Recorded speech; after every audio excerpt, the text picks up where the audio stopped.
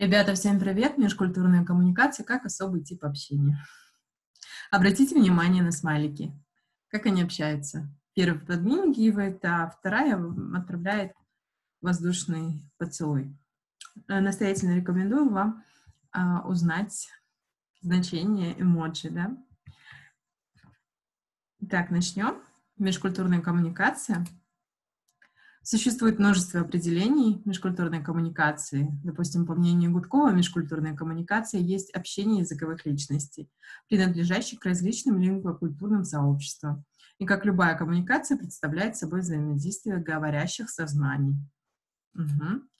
Леонтьевич считает, что межкультурная коммуникация есть непосредственный или опосредственный обмен информацией между представителями разных культур. Верещагин и Костомаров называют межкультурной коммуникацией адекватное взаимопонимание двух участников коммуникативного акта, принадлежащих к разным национальным культурам.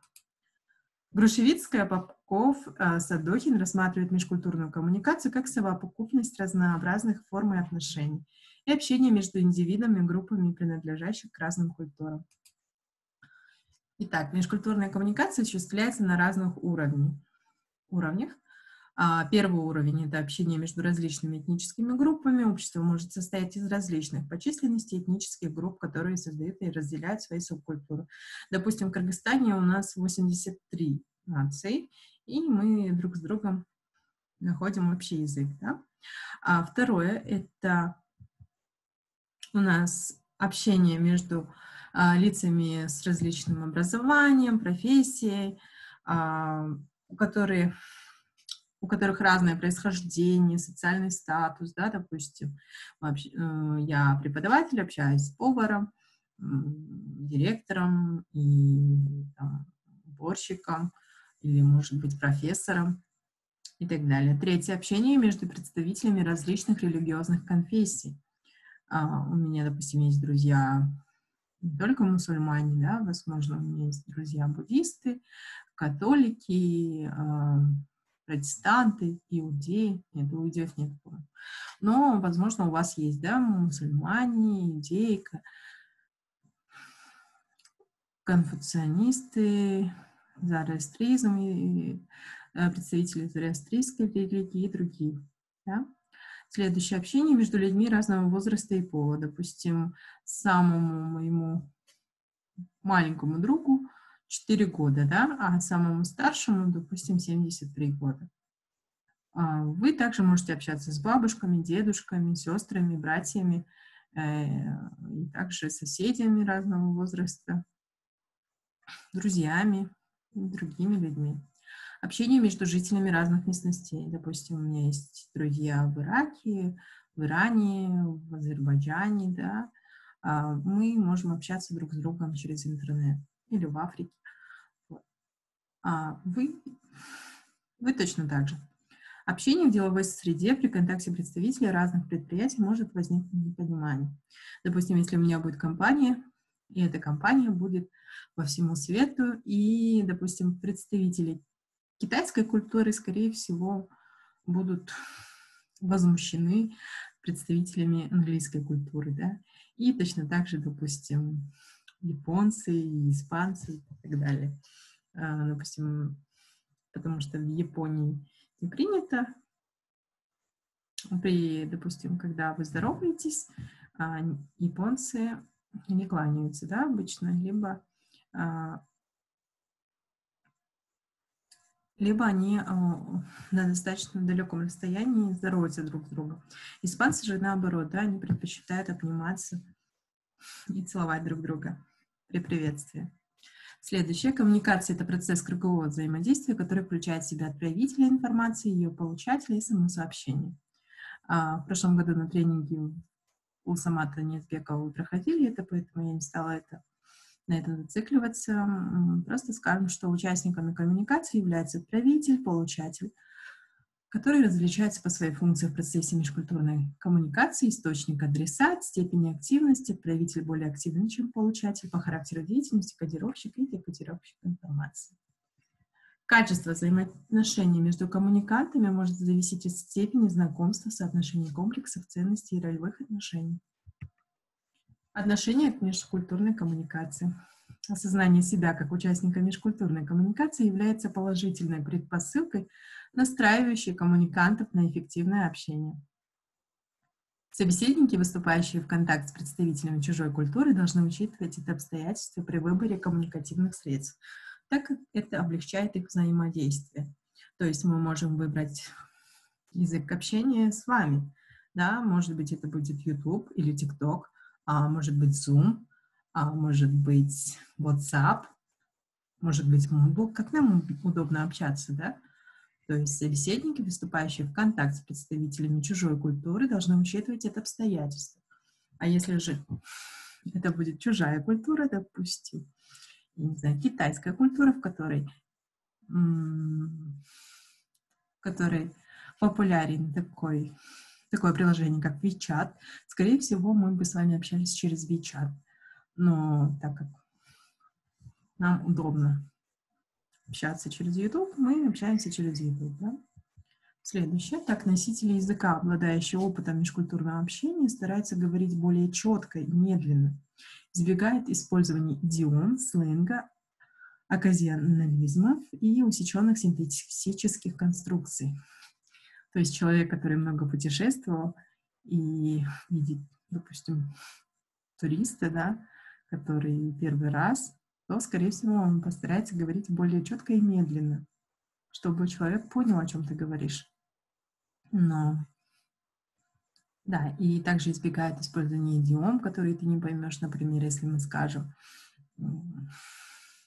уши горят, да? Иностранцу он не поймет. Однако в некоторых ситуациях высокий уровень коммуникативной компетенции иностранца вводит в заблуждение носителя лингвокультуры, и он обращается к собеседнику как к соотечественнику. То есть если у вас очень хороший высокий английский или у иностранца очень хороший русский, и он, скорее всего, понимает эти фразеологизмы, то он обращается к нему как к своему, да? Э, также и вы. Если вам говорят when pigs fly, вы понимаете, что это не означает, что свинья летает, да? Такие коммуникативные акты нередко заканчиваются неудачей. То есть, если вдруг вы не знаете, что такое when pigs fly, вы подумаете это дословно, начнете себя, себя накручивать, да, и а, в конце концов а, коммуникация будет неудачной. Но если вдруг вы знаете, то она сложится довольно удачно. Ситуация усложняется, если оба собеседника не информированы о принадлежности друг друга к разным культурам. А, допустим, есть различные культуры, да, но давайте скажем южная и северная культура, например, а, у кыргызов, да, как, допустим, на юге принято, чтобы когда женятся молодые люди, то жених, он сидел прямо ну, как будто на троне, да, очень много стишоков ему стелят, и это говорит о том, что он вступает в брак, он главный в семье и так далее. А на севере такой практики не имеется. Социальный мотив при вступлении в межкультурные контакты оказывает существенное влияние на характер межкультурной коммуникации. Речь может идти о выживании в чужой стране. Да? Если входит какая-то опасность, у вас нет денег, нет э, никаких средств для существования, вы, возможно, потеряли телефон, если у вас есть только один паспорт, или если вдруг потеряли то выживание в чужой стране то, скорее всего, вам нужно будет обратиться к людям, да, а, скорее всего, в посольство. Поэтому выживание тоже акт межкультурной коммуникации. Или же чисто деловом общении, то есть если у вас вдруг очень богатая компания, да, вы создали многомиллиардный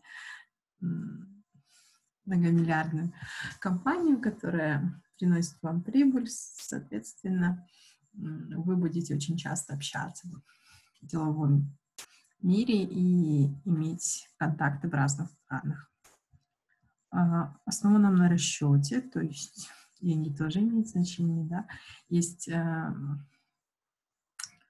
такая новая профессия, называется на межвалютный переводчик. То есть это человек, который просто вам переводит валюты, да, допустим, с доллара на сом, с сом на евро.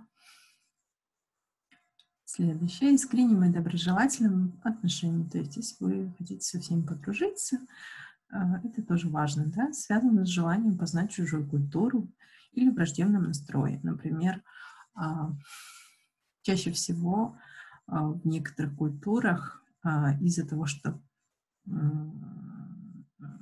враги, да, говорят, что нужно выучить язык, потому что они нам враги. Либо наоборот, да, потом мы учим язык, потому что они нам друзья. Следующее. Интенсивность культурных переживаний и межкультурной коммуникации находится в прямой зависимости от того, насколько действенны следующие факторы. Этноцентризм, языковая компетентность, глубина погружения в чужую культуру и другие.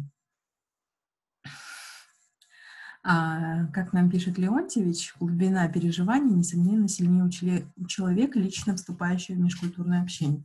То есть, а, если я пойду в магазин в другой стране, в банке, на улице с параллельным осуществлением различных коммуникативных действий, включая э, речевые, да, нежели у туристов, которые наблюдают чужую страну из окна автобуса. То есть я, если я еду в Дубае, смотрю на чужую страну из окна автобуса, и все. Никаких у меня переживаний нету в плане межкультурного общения.